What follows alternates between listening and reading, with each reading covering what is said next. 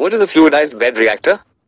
A fluidized bed reactor or FBR is a type of reactor where solid particles which are usually catalysts are suspended or fluidized by an upward flow of gas or liquid. Hence, it is one of the types of catalytic reactors. So, it consists of a vertical cylindrical vessel containing fine solid catalyst particles. Then, the fluid stream which is usually gas is introduced through the bottom of the reactor at a rate such that the solids are suspended in the fluid stream without being carried out. Under these conditions, the entire bed of catalyst particles behaves like a boiling liquid. Hence this process is known as fluidization and the reactor is known as a fluidized bed reactor. But why is this reactor important? Because it offers a uniform temperature so no hot spots. Then it is continuous operation which means higher productivity yield. Then we get high conversion and efficiency and it's easy to handle both solids and gases together. Finally, let's see where fluidized bed reactors are actually used in industry. So, they're used in so many important processes, like in petroleum refineries, for catalytic cracking.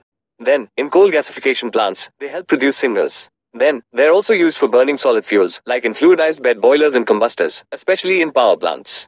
Then in the polymer industry, they are used for polymerization reactions, like making polyethylene or polypropylene. Then in metallurgy, they are used for roasting of ores before extraction. And even in the pharmaceutical and food industries, for processes like drying and coating of particles.